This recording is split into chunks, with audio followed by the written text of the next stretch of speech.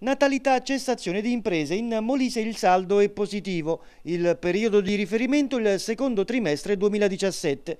I dati in valore assoluto fanno segnare un saldo di più 256 imprese e quanto promana dalla rilevazione dell'ufficio studi di Union Camere Molise. Tra aprile e giugno le aziende neocostituite sono 554, erano 708 un anno fa, le cessazioni 298, 370 nello stesso periodo dell'anno precedente precedente. Complessivamente a fine giugno 2017 sono 35.309 le imprese registrate presso la Camera di Commercio del Molise. In termini percentuali la crescita allo 0,73% rallenta il passo rispetto all'anno precedente. Disaggregando il dato per settore, quello che ha registrato il saldo più consistente, l'agricoltura. Tra nascita e cessazioni si registrano 53 aziende in più, più modesti i saldi dai servizi alle imprese, più 7 unità, servizi alla persona, più 5 imprese, dalle costruzioni più 4 aziende a concludere il settore delle assicurazioni e credito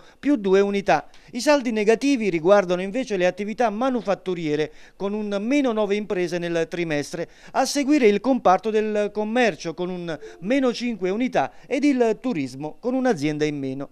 Altro dato di interesse è quello relativo alla veste giuridica di queste imprese. Incoraggiante il dato delle imprese individuali, sono 136 in più, il 53% dell'incremento complessivo, più 124 le imprese nella forma di società di capitali. Le altre forme giuridiche, cooperative e consorsi fanno segnare un saldo pari a più 11 imprese per un tasso di crescita che sfiora l'1%. Il dato del Molise si inserisce nell'alveo nazionale in cui cui tutte le regioni fanno segnare degli incrementi più o meno significativi. Da rilevare che circa il 40% del saldo positivo è localizzato nelle regioni del Mezzogiorno, ma visto il gap da recuperare al sud rispetto alle altre aree del territorio nazionale, questa crescita non deve trarre in inganno. In realtà, la strada da percorrere in termini di crescita economica, produttiva e commerciale è ancora tanta.